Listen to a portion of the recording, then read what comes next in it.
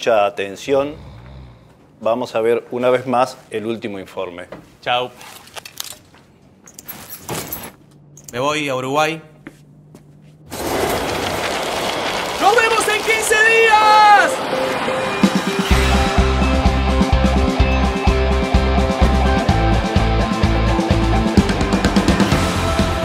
Escapate del año. Vacaciones en Uruguay con beneficios especiales.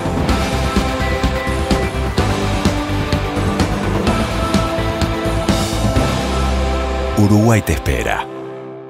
Nosotros decimos que es la primera vez en muchos años en que efectivamente Uruguay está muy competitivo en precios con la región, con Argentina y con Brasil también.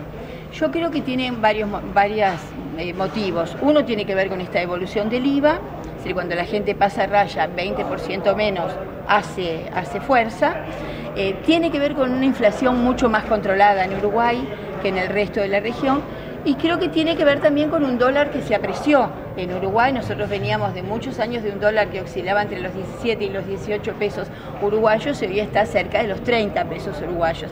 Creo que todos esos, eh, esos eh, eh, elementos juntos hacen que efectivamente Uruguay esté como hace muchos años, estupendamente competitivo en precios con, la región. ministra, hay, una diferencia muy escasa en el combustible fundamentalmente entre Argentina y Uruguay. Sí, bueno, ese es un buen ejemplo donde siempre hubo una diferencia importante y este año estamos casi a la par hay un fortalecimiento también de lo que es la conectividad aérea. Ministra, quiero que nos cuente un poquito de esto, que Uruguay también tiene una mejora. Hoy presentaba en, la, en Rosario particularmente lo que es aerolíneas y un nuevo contacto Rosario-Punta del Este. También hay otros destinos en Latinoamérica que han mejorado para Uruguay. Sí, sin ninguna duda. La noticia de Rosario y de Córdoba, unidas por aerolíneas argentinas en un vuelo directo a Punta del Este, es una extraordinaria noticia porque la conectividad tiene mucho que ver con el éxito de la llegada de, personas. Vamos a tener también Porto Alegre, Punta del Este, que creo que también es una, una, muy buena noticia.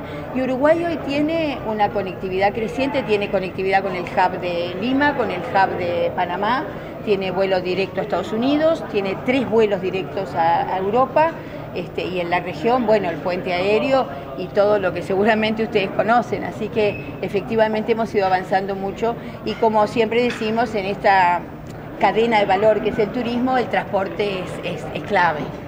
Eh, en la materia de cruceros, ¿cómo lo toman? Porque es una temporada que se avisora también muy promisoria. Ustedes han sido pata fundamental para que se sostenga esta navegabilidad que hay en el sur, fundamentalmente de Latinoamérica, tanto ustedes como Río de Janeiro. Quiero que le cuente un poquito a la gente que a lo mejor toma un crucero y tiene como base también el puerto de Montevideo. Las compañías de cruceros trabajan por regiones, porque ningún barco va a ir solo a Montevideo o solo a Punta del Este, por lo tanto eh, algunas dificultades que en los últimos años tuvimos con el puerto de Buenos Aires nos complicaron un poco, especialmente Punta del Este, porque era el circuito más vendido, Buenos Aires-Punta del Este. Por suerte, eso se está revirtiendo, eh, se ha trabajado muy bien con el ministro de Turismo de Argentina, con el puerto de Buenos Aires, y creo que el año que viene vamos a tener buenas noticias, además de ir juntos a la Feria de Cruceros en marzo en la Citrey para posicionarnos como región, porque efectivamente hoy lo que compite en el mundo son las regiones y especialmente el Asia se está llevando la mayor cantidad de barcos que andan en, el mundo, así que para nosotros es muy clave eso. Para Uruguay el crucerismo son unos 300.000 visitantes que bajan los barcos, unos 11 millones de dólares de gasto, pero te diría que lo más importante es este, la promoción que ha significado para el Uruguay. Muchos extranjeros que conocen a Uruguay a través de un crucero vuelven, vuelven con sus familias, vuelven más tiempo, así que algo que nosotros no lo teníamos previsto se ha convertido en un, este, en un promotor del destino este, muy importante. Ministra, desde hace algunos años Uruguay se está posicionando en el turismo eh, enológico, ¿no? Este, han, tomado un gran protagonismo en la, región y para los argentinos el vino es, algo realmente fundamental. Bueno, hay, han aparecido nuevas bodegas, han aparecido inclusive hasta en, nuevos varietales han estado trabajando. Sí, Uruguay ustedes saben que ha ido posicionando su Tanat, que es la cepa eh, que nos distingue, así como ustedes el Malbec o, el Carmenere a los chilenos. Yo creo que tenemos tres joyas en el mundo. Si pudiéramos venderlas juntas, yo creo que vendrían miles de turistas a la región. Este, tenemos hoy un circuito enológico, tenemos un conjunto de unas 15 eh, eh, bodegas que están hoy eh, brindando servicios turísticos, en donde el departamento de Canelones, que es el mayor productor de vino en Uruguay, cumple un papel muy, muy importante.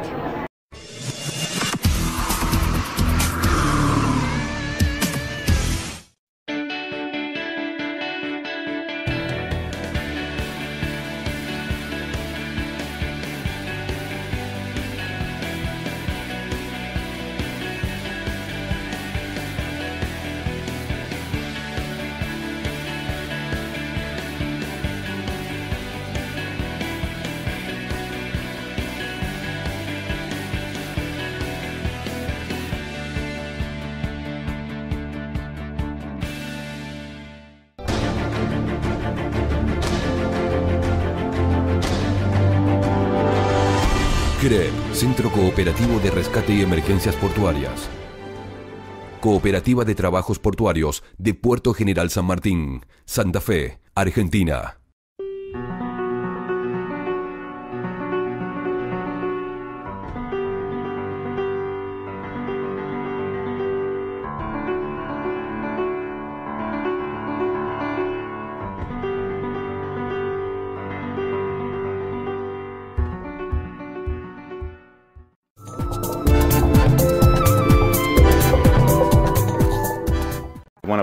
Bienvenidos. Este, sí, nosotros estamos operativos hace ya desde, desde junio. Este, es un complejo nuevo, un hotel eh, con características eh, de muy alto nivel. Nosotros estamos eh, abocados a todo lo que es la parte de turismo termal, evidentemente, y eh, con un modelo de negocio un poco diferenciado a lo que son los grandes hoteles termales, con una dinámica eh, y un modelo boutique. Tenemos un hotel de 60 habitaciones con servicios integrales para toda la familia, para niños, adultos y jóvenes. Eh, lo que tratamos nosotros es de brindar un producto, como le te dije, diferencial, con eh, un acercamiento al huésped, a la familia y eh, con alternativas para todos. Eh, tenemos una zona de agua muy, muy completa, con piscina para los chicos, con juegos de agua para los jóvenes y niños y adultos, este, y una dinámica de, de jacuzzi, sauna y demás. Dentro de eso tenemos el agua salada, que es un potencial para, para un posicionamiento nuestro. Esto es lo que lo- básicamente lo diferencia del resto, ¿no? De, Sí. la- de las termas de la, de la región, porque además es agua termal salada, este, natural. Exactamente. El agua termal salada tiene eh, múltiples beneficios para la salud, lo que nos hace evidentemente un diferencial sumamente importante. Sobre eso también tenemos, este, estamos en una ubicación estratégica, estamos a 380 kilómetros de la ciudad de Rosario, 320 de Montevideo y unos 400 kilómetros de la ciudad de Buenos Aires, este, así por lo que estamos un poco más cerca de lo que de los otros complejos, ¿verdad? Este, con un entorno maravilloso con actividades extra eh, fuera del hotel también. Están con- trabajando con los privados, ¿no? Para, para, para sumarlo. Sí, la idea nuestra es eh, todos los operadores de la zona eh, poder sumarlos y poder generar un producto aún mayor. Este, estamos en negociaciones con ellos para poder este, para poder integrar eso también y bueno, evidentemente generar un producto que no tenemos aquí en el Uruguay. Así que, que bueno, la idea, la idea prontamente es esa y eh, estamos eh, también trabajando sobre lo que es la temporada de verano, con unas tarifas promocionales también, porque lo que queremos hacer es que el turismo termal no solamente sea en, en una estacionalidad marcada, sino que también el verano sea para turismo termal. Sí, claro. Eh, y además con, con todo el entorno natural que tiene esto, con este el parque de Ikeguay y demás, que está muy cerquita, que se puede eh, inclusive aprovechar y hacer caminatas, este, kayak y demás. ¿no? Exactamente, exactamente. Nosotros estamos trabajando con los, con los, con los privados, este, con los operadores, cabalgatas, el igual como tú decías anteriormente, este, así que bueno, visitas a bodegas y demás. Así que la idea es esa.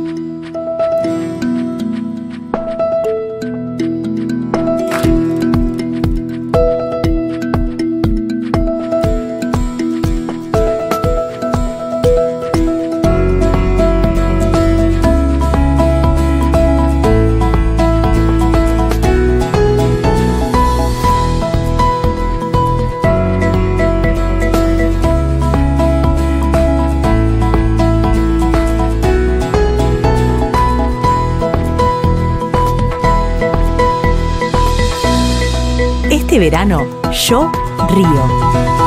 Santa Fe Turismo, provincia de Santa Fe.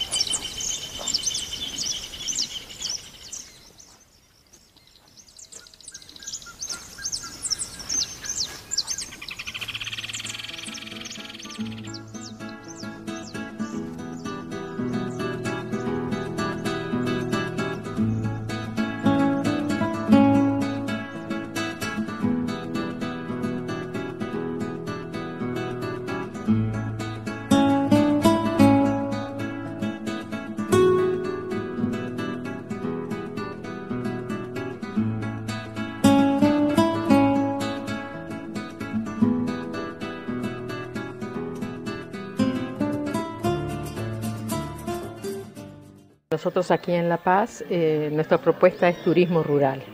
hace muchos años que estamos trabajando en esto y eh, buscamos este, mostrar un, patrimonio histórico desde 1860, que es este establecimiento, eh, poder compartirlos con otras personas y, nos permite además este, poder mantener este patrimonio histórico, digamos, acá en La Paz.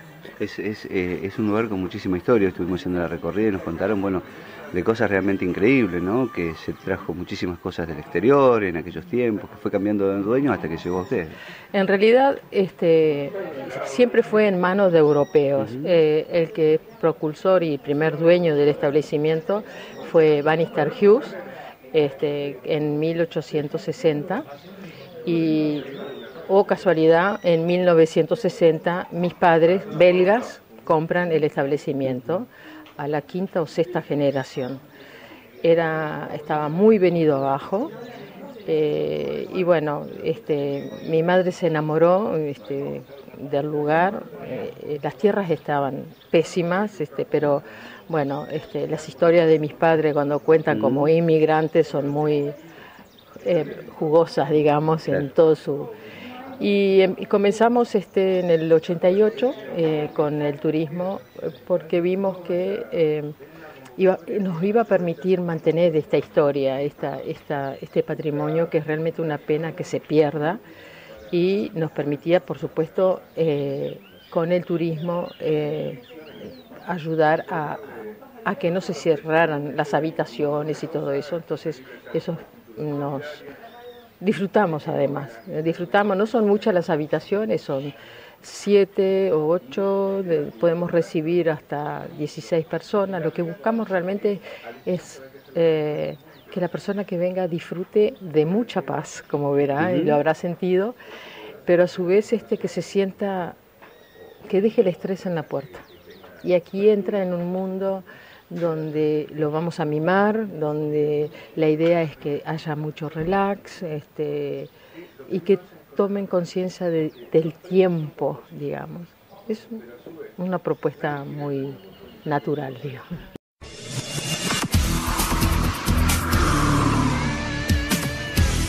Bueno, los agradecidos somos nosotros de contar con vuestra presencia para que, bueno, lleguemos a, al público de Rosario porque tenemos este, fundadas expectativas de que tengamos muchos rosarinos visitándonos aquí este, y bueno, les vamos a brindar la mayor hospitalidad y estamos esperando y estamos ya asistiendo este, a, un, a un incremento importante de la afluencia turística, sobre todo con viajeros procedentes de la República Argentina. Digo, no solo somos hermanos, sino que ustedes siempre están presentes acá porque aman el Uruguay, aman sus costas, su paisaje, y bueno, y nos sentimos muy cómodos este, conviviendo porque además nos miramos, por lo menos con los porteños, nos miramos a través del río, así que nosotros eh, le debemos mucho a la República Argentina y bueno, y confiamos en, precisamente la presencia de ustedes. Sirva para que muchos rosarinos este, vengan a ver esta esta maravilla que es Colonia. Espero que les haya gustado. Intendente, eh, hoy recorríamos la ciudad con, con, Cristina, con Lucía, y veíamos fundamentalmente lo que son los precios ¿no? en,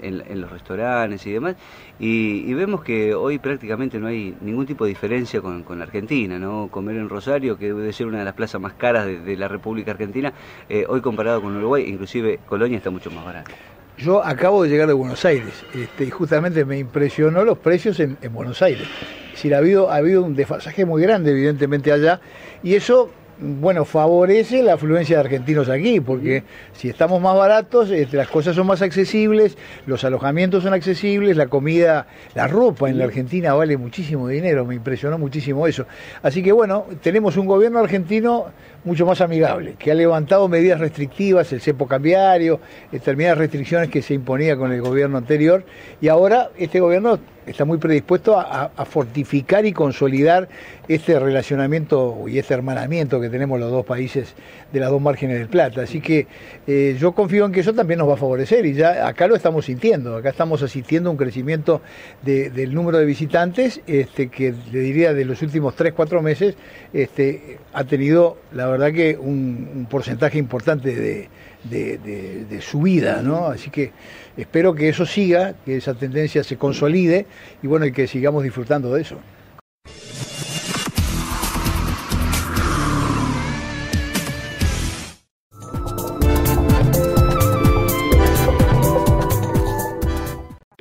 Aquí estamos concretamente en el paso Andrés Pérez, antiguamente paso de Lino Pérez, hermano mayor, y esas cuestiones de, bueno, de las familias, ¿no? o de llegar a un lugar y en realidad el nombre era la referencia del dueño de esta zona. Aquí estamos muy cerca de ese casco donde vivieron los Pérez y muy próximo al río Quehuay Grande. Entonces el paso en el río también se denomina Paso Andrés Pérez. También se denomina esta zona Rincón de Pérez, río Quehuay Grande, río Quehuay Chico. Y en los últimos años declarado esta zona área protegida Montes del Quehuay algunas de las características que tiene que ver con esta zona. Carlos, este, el que viene, el turista que llegue aquí a este lugar, ¿con qué se va a encontrar? Nosotros hicimos un trekking muy lindo, pudimos navegar el río, contanos un poquito. Exacto, aquí el grupo de guías de Guichón está ofreciendo varios circuitos, desde circuitos históricos, de lo que hablábamos de Artigas y otros elementos que tienen que ver con elementos incluso de, caminos milenarios. Eh, también los guías te pueden llevar a hacer un recorrido por los palmares de Gutiayatay, que compartimos con, con los hermanos argentinos en Entre Ríos, en esa línea de palmeras, muchas historias también de batalla en esa zona. Podemos visitar algunas estancias que tienen algunos museos particulares. Podemos hacer canotaje en el río, podemos hacer pesca deportiva de la Talarilla, del Dorado.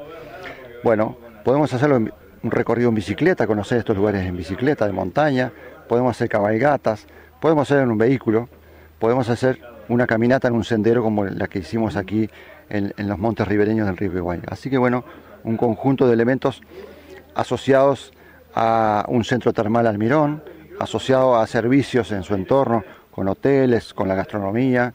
Bueno, eso es parte de las propuestas y, el trabajo de desarrollo del turismo que vienen realizando distintas entidades que viene apoyando la Intendencia de Paysandú, Ministerio de Turismo y otras organizaciones. Hay, una flora y una fauna realmente increíble, ¿no? Este, uno puede ver este, especies de distintas clases en, muy pocos metros este, y, fundamentalmente escuchar el, canto de los pájaros. Exacto. En este recorrido de monte nativo podemos ver más de 30 especies de árboles nativos eh, y ahí en ese sendero, por supuesto que uno puede interpretar las huellas de los animales que viven asociados a esa flora, Podemos en el río ver los peces, este, o podemos venir a pescarlo en forma deportiva, pesca de evolución, o podemos observar también. Podemos observar un montón de insectos que interactúan en esa naturaleza. Bueno, algunas de las particularidades este, asociadas de este monte, de este río, que uno puede conocer.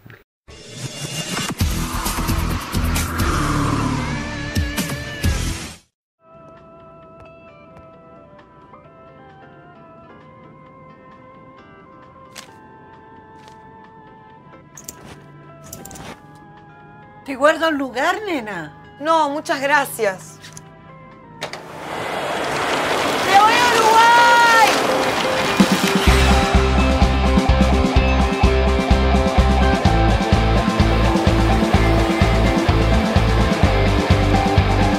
Escápate del año. Vacaciones en Uruguay con beneficios especiales.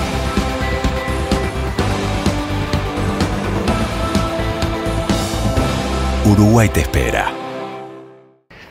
Este, yo actualmente soy presidente del Comité de la Hidrovía del Río Uruguay. Se me hace tener mucho contacto con los intendentes, fundamentalmente de la provincia de Entre Ríos, fundamentalmente. Entonces, porque tenemos las intendencias del lado uruguayo y las espejos del lado argentino. Y tratamos de generar un espacio de integración, este, no solo para alimentar las propuestas turísticas, sino, por ejemplo, las ofertas culturales, los intercambios deportivos y también los intercambios académicos y, por qué no, hasta las propias promociones en las actividades que tienen que ver con la salud y demás, ¿no? porque cuando uno tiene algunos problemas no, no los diferencia de país a país, sino que tiene que tratar de verlos más Este, nosotros ahora, por supuesto, estamos lanzando la temporada de, la, de playa, sol y playa. Este, Paisandú tiene los atardeceres fantásticos, todo el mundo lo dice bien, lo disfruta, la playa va a estar certificada en calidad, va a tener servicios, estamos tratando de mejorar algunas infraestructuras, mejorar el paseo costero para el sanducero, el paseo costero es un lugar donde, donde se disfruta mucho, porque la gente, la gente de acá y la gente que viene lo disfruta. Por supuesto que le incorporamos turismo termal, incorporamos turismo natural, este, también el histórico patrimonial y la oferta cultural, que me parece importante esto porque Paisano tiene una serie de infraestructuras, tiene el Teatro Florencio Sánchez, tiene los museos, tiene el Anfiteatro del Uruguay, estamos eh, comenzando la recuperación del cine Astor, ex cine Astor, para que sea una sala alternativa. Inauguramos recientemente una peatonal, que parecería en realidad una poca cosa, pero en realidad es mucha porque genera un ambiente este, propicio justamente para las expresiones culturales. Entonces un, un departamento que, que, se llega desde Rosario, de Buenos Aires, de cualquier provincia argentina con rapidez, con buenas vías para circular, es una ciudad segura, es una ciudad muy amigable, tiene servicios, tiene oferta cultural y tiene propuestas turísticas, ¿no? Y tiene una una población que es muy amigable. Quizás por ese pasado fabril, industrial, que hace que San Lucero tenga esa predisposición este, como más tranquila, ¿no? más amable, más, este, pero que está, como le decía hoy, viendo que, en, los servicios está parte de su desarrollo hacia el futuro. ¿no? Este, que por supuesto reivindica su pasado industrial, pero bueno, el pasado industrial requiere de variables que no manejamos solamente los santuceros. Entonces se va diversificando, ¿no? Y, este, estamos tratando de hacer este departamento un departamento importante para la región. Paysandú tiene, de entre otras cosas, una historia muy rica.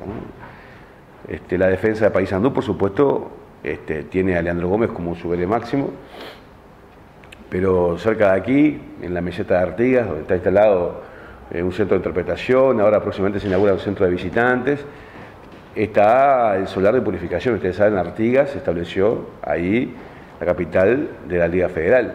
Este, entonces, bueno, yo creo que Paysandú está llamado a, digamos, en este momento a reivindicarse en, algunos acentos, ¿no? Este, lo que pasó con la defensa, lo de purificación, su patrimonio más artístico-cultural, es la tierra de San Payo y la tierra de los iracundos, ¿no? Este, a mí ha tocado ir por algunas partes del mundo y me hablan de los iracundos como si fueran este, ¿no? el, el, ADN santucero, y lo son, y lo son. Y después San Payo, por supuesto, como un emblema local que repercutió mucho en la República Argentina. Así que bueno, con, todo ese, mar de cosas, Paisandú este, está en el momento justo de reencontrarse, este, me parece, como sociedad, ¿no? para ofrecerse en sus mejores términos a la gente. ¿no? Tenemos un evento que es de los más conocidos, cumple 52 años, este año 2017, que es la Semana de la Cerveza, es la Semana de Turismo. Eh, hay que venir, hay que venir. Vamos a ir por allá a promocionar. Este, históricamente eh, eh, surgió porque había una fábrica de cerveza. Hoy no existe la fábrica como tal, sino que es el tema del malteado de la cebada. Pero igualmente eh, existe un movimiento muy importante de cervecerías artesanales, ¿no? De hecho, algunas hay acá y en la región. Este, y bueno, nosotros el año pasado hicimos una edición que estuvo este, muy, me parece a mí que fue una buena propuesta en términos de la propia feria, de la, grilla. Este, vamos por caso, este, que fue este año, ¿no? Estuvo No Te Va a Gustar, La Vela Poder Camara, Mafito Páez, eh, era una propuesta importante. ¿no? Y bueno, y ahora estamos transitando la organización de la edición 2017. Este, vamos a, a con tiempo a difundirla. ¿Cuándo es? Es, es la Semana de Turismo, que viene a ser desde el 8 de abril hasta el 17 de abril.